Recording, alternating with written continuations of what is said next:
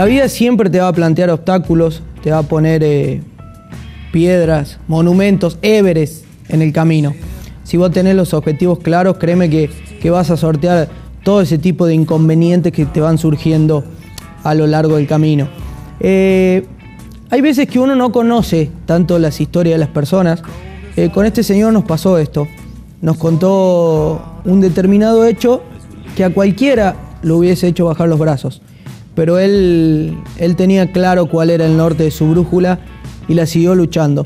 Tiene una gran carrera en la Liga Nacional, llegó a la selección, formó parte, pequeña parte de la generación dorada y pasó por Kimsa como jugador y hoy en otra posición, en otro lugar, sigue y vuelve a formar parte del elenco fusionado. La verdad que una historia linda de escuchar con un mensaje muy claro, sobre todo para los más jóvenes y para todos, no solo el que se dedica al deporte, para todos los que arrancan y arrancamos nuestro camino en la vida y creemos que por un mínimo hecho vamos a, dejar de, de ir por nuestros sueños. Siempre él se nota con los pies sobre la tierra, pero tiene las alas listas en la espalda para volar y para seguir sus sueños. Aquí la primera parte con este gran hombre, literal, gran hombre que tiene el básquet argentino. La pondrá en cancha sin señores. Allí vendrá reposición para Cantero, este para Mellín. Mellín que no hacía pie. La metió para Logripo, el tiro de Logripo. Doble. Doble de Atenas. Quedan dos décimas, señores. Se va el partido. Terminó el partido. La victoria de Logripo. Sin duda fueron a abrazar a ellos. A él, digo, a Logripo. Ha ganado Atenas. Victoria muy festejada. Logripo es una especie de estandarte. Bueno, hacía rato que, lo queríamos tener, por supuesto que en, esta época del año me parece que en toda anda con, mucho movimiento. Lo sufrió la gente de la fusión, lo disfrutó y ahora lo va a volver a disfrutar. Eh, creo que estamos a menos de un mes de que se cumplan 23 años de su debut profesionalmente. Señor Diego Logripo, ¿cómo estás, Diego? ¿Qué tal? Muy bien, un placer compartir la entrevista con ustedes. Bueno, Diego, eh, ¿cuánto tiempo ha pasado? Fue un 11 de octubre, ¿no? Sí, sí, bueno, parece, parece mentira, pero pasa muy rápido. Realmente pasa muy rápido la carrera. Y, bueno, comencé en el año 96, siendo reclutado por Ferrocarril Oeste, eh, uno de los últimos años de León Nasnubel, que fue el creador de la Liga Nacional y un emblema para nuestro básquet y para, para el país, ¿no? Así que, bueno, orgulloso de haber tenido tanto recorrido dentro de este apasionante deporte. Y, en ese recorrido, bueno, vamos a ir eh, eh, hablando de toda tu carrera, porque para, para eso es, es la charla, es lindo conocer. Uno a veces, eh, me, parece que lo escuché, también estaba hablando con un amigo, le digo a Diego, ah, él es cordobés, no, es cordobés por adopción. Sí, sí, pasé gran parte de mi carrera en Córdoba, pero soy nacido en Rosario eh, tengo más años fuera de Rosario que dentro, pero mi sangre, mi familia, mis amistades eh, son de Rosario y yo tengo también una identificación con la ciudad, eh, tanto con Rosario como con Córdoba por, por, haber jugado Córdoba y por Rosario por ser de nacimiento y estar hasta los 17 años. cuando, cuando empezaste con esto del mundo del deporte, ¿fue directamente al básquet o no? Mira, mi carrera basquetbolística empezó tarde.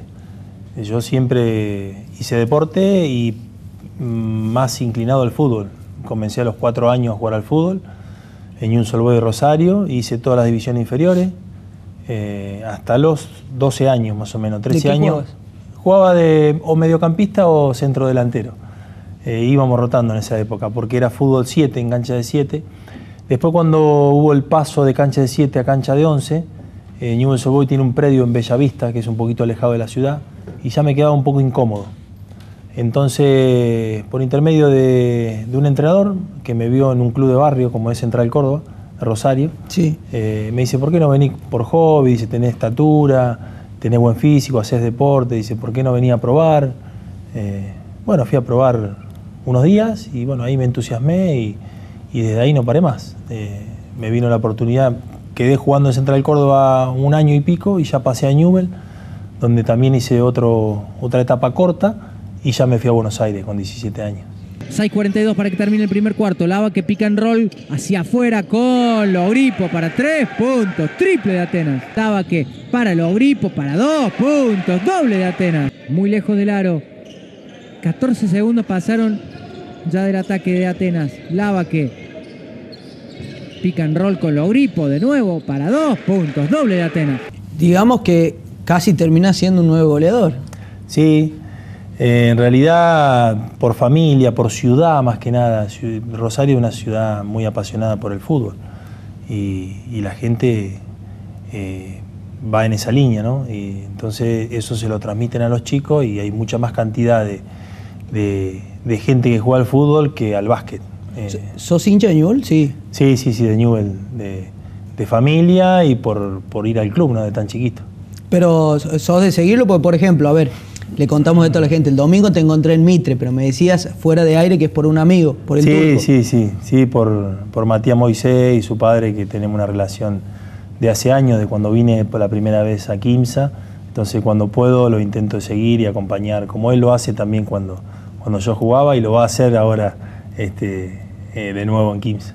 Y digamos que al clásico no lo seguiste. Lo sigo, antes por ahí era un poco más eh, apasionado por el deporte, lo seguía un poco más, porque bueno, yo soy de la época de Diego Quintana, de, Sebastián Covelli, de Pomelo Mateo, yo me había iniciado más o menos con, e, ellos, ¿no? Eh, y, bueno, lo seguí durante un tiempo y ya después, bueno, como me tocó ir a jugar fuera, lo seguía eh, vía online, o no, con tanto, con tanta cercanía, ¿no? ¿Te costó irte? Más allá de que no eras tan chico, pero cuando te vas a Ferro. Mira, no, no, realmente no. Me costó por el hecho de alejarme de mi familia. Pero Rosario de Buenos Aires está muy cerca, no es, no es un desarraigo tan grande como irte tan lejos. Eh, entonces mi familia me podía venir a visitar y, o yo podía volver a la ciudad. Entonces fue una decisión que la tenía totalmente decidida eh, y no me, tomó, no, no me costó tomarla. Eh, lo que sí eh, me costó un poco más porque justo a los 17 años, después del primer año que había jugado en, en Ferro, había hecho un gran año, tenía una proposición para jugar en Italia con un precontrato, tuve un accidente automovilístico con 17 años. Y bueno, eso me frustró de, de mi posibilidad de irme del país y de, y de poder eh, mejorar ¿no? en todo sentido, deportiva y económicamente. Entonces eso me pospuso la carrera como, un año y pico.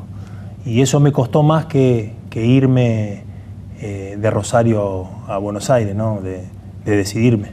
¿Cómo, ¿Cómo se recupera uno de eso?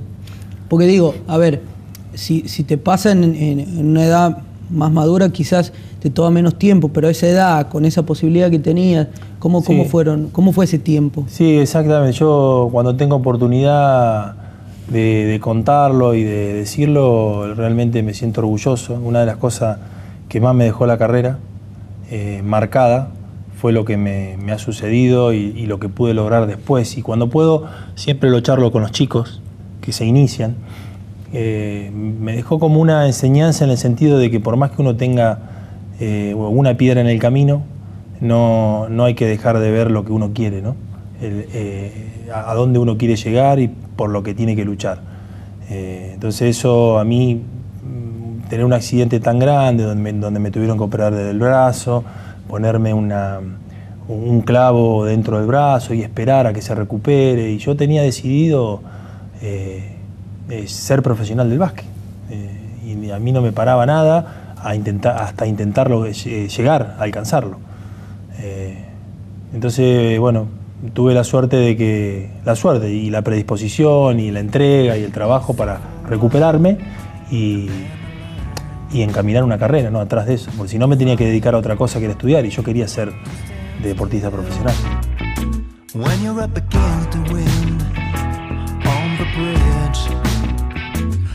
te sim.